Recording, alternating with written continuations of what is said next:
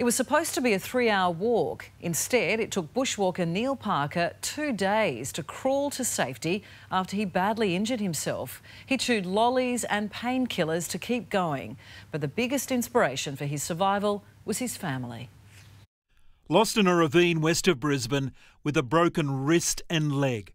The odds were stacked against bushwalker Neil Parker when he fell down a rock face. I just started sliding down the face of the rock and I slid about 20 foot, um, cartwheeled, slammed into the rock and then landed in the creek at the bottom. From this creek, Neil knew he had to reach higher ground to be spotted. His three hour trek turned into a life or death battle. Fairly worried because, one, I hadn't told anybody where I was going.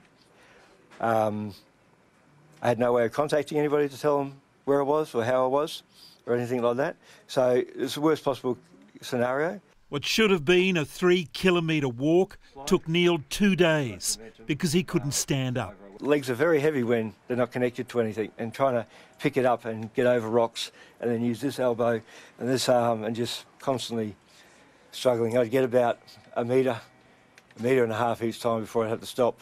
When he crawled to a clearing, the rescue chopper eventually spotted him. Amazing. I've, I've never heard any uh, such survival uh, effort with, with two, two broken limbs. And what gave Neil the will to keep going? The thought of seeing his son and daughter.